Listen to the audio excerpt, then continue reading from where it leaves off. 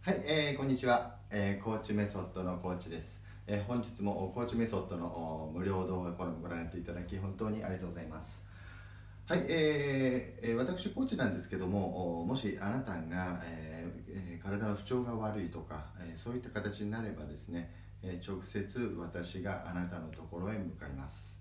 えなのでですね、えそういった場合はですね、お問い合わせ、ホームページの方からですね、ウェブサイトの方からあお申し込みください。はい、えー、今日のテーマなんですけれども、今日はですね、えー、この、えー、頭の後ろをですね、えー、まあ、指圧もしくはマッサージとか筋肉を緩めると全身の筋肉が緩むというその理屈をですねお伝えします。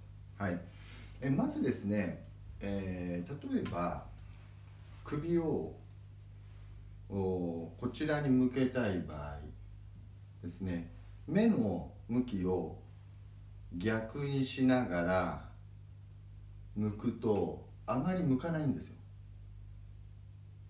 わかります？逆に目を向こうを向きながら回すと首というのは一気に回るんですね。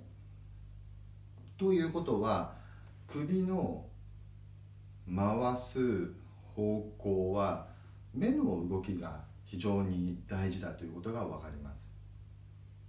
えー、実はですねこの目の動きを非常に活性化させる神経というのは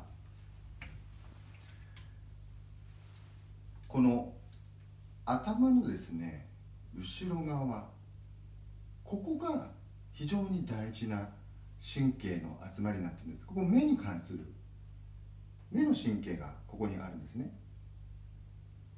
なのでここの筋肉を緩めることで目の動きが活性化されます。じゃあそのポイントいきます。ポイントはここになります。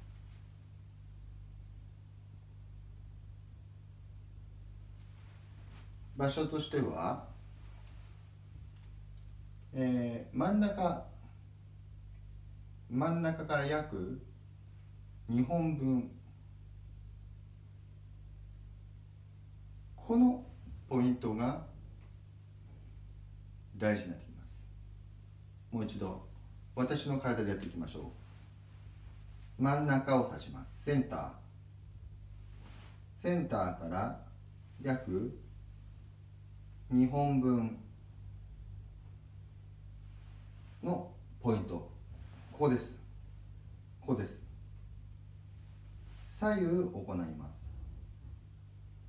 このポイントを指で押さえてゆっくりと指圧もしくは順熱をしていきます。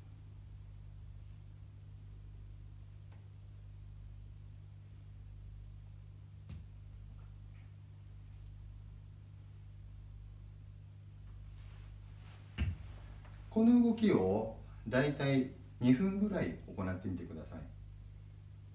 そうすると首の筋肉が柔らかくなって首が傾きやすくなります。